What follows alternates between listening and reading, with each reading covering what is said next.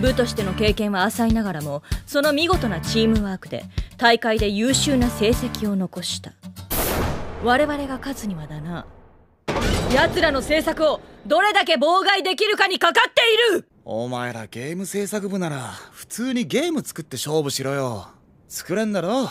なんかよ。体力には自信あるけど。ゲーム作りなど知らん終わってるなこの部まずは奴らがどんなものを作っているのか知る必要があるな。というわけでスパイよろしく。出たまた俺だ。どうだ？見えるか？全然ですね。何しに来たのよ。げ見学？入れば見せてあげるわよ。いいのか？いいわよ別に。見てもどうこうできるわけじゃないでしょ。じゃあまあどうやるんだ？簡単よここ。をこう持ってくるとこのあの男落ちるわね。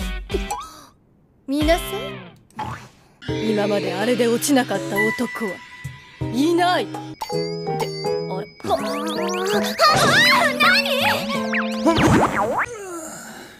いやごめん。あんたが悪くないのは分かってんだけどさ。あいい。どうだった？楽しそうに遊んでんなおいであっちの部うまく潰せたの？え？そういう話だったっけ？言葉の裏を読んでよ。今さらまともにやっても勝てるわけないでしょ。この甘今年もやってきましたな。ああ今年はどんなゲームを作ったのか楽しみだな。だが何より楽しみなのは高尾さんの解説の時に当たるあの胸の感触。いらっしゃい。こんにちは。あれ？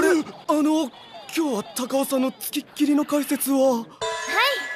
今日は後輩が説明します。